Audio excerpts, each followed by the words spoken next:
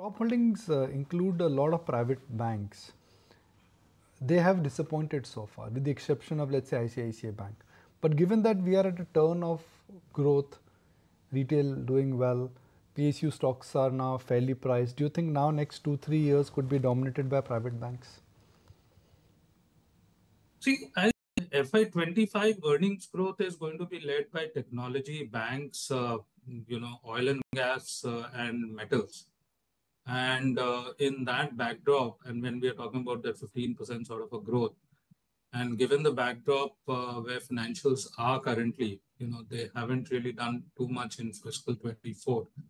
I think there could be some catch-up game uh, uh, played by BFSI.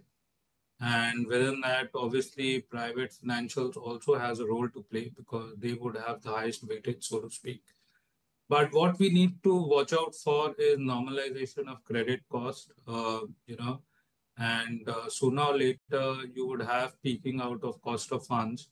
And even in the fourth quarter, we did see that uh, we didn't see too much of a dent in the margins. And uh, credit growth in the system, uh, you know, would mean that a 15% sort of a loan growth is very much doable.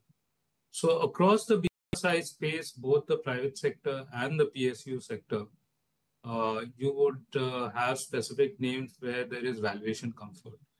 So I think it's a pick and choose. Uh, valuations are much more sanguine in the public sector uh, banking space. Uh, and also quite reasonable even the private sector banking space. So from that point of view, I think BFSI stands in a sweet spot as we speak. Manish, hi, you know.